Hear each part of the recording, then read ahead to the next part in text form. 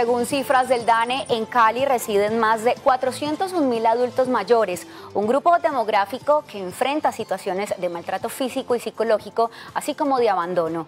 Muchos de ellos no cuentan con sustento económico, pero ¿cómo atender a esta población? Las autoridades responden que están trabajando. Un reciente caso de violencia intrafamiliar donde la víctima era una mujer de 83 años prendió las alarmas.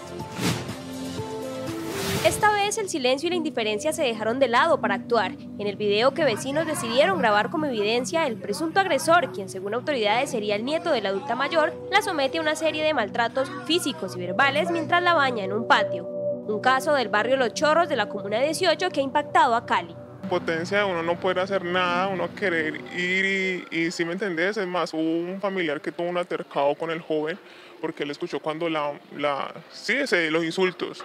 Entonces él le dijo que qué pasaba, que porque le insultaba y le decía que dejara de ser sapo, metido. Y él dijo, pero es que sí, soy sapo, pero pues si no le tienen paciencia y no es capaz de tenerla ahí, porque no la llevan a un ancianato donde la puedan cuidar? Pero no la maltraten así.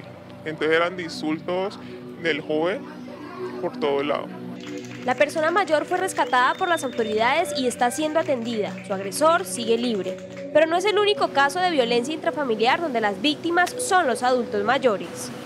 La invitación especial es a que todos los caleños y caleñas nos pongamos en la posición y podamos denunciar.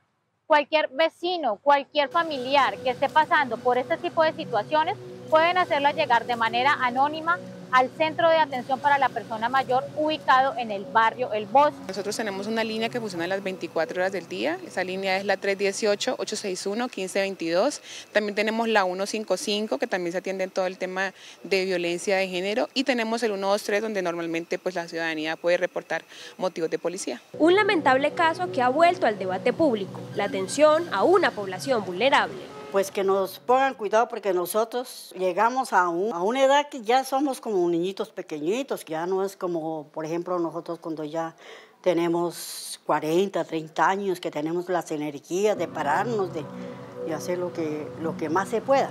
Y la violencia y maltrato no es el único problema para cientos de personas que superan los 60 y 70 años. Arnold Urrea, de 66, reside en el barrio Siloé y es vendedor en las calles desde hace más de 5 años. Cuando está dando buen tiempito, a uno le va bien.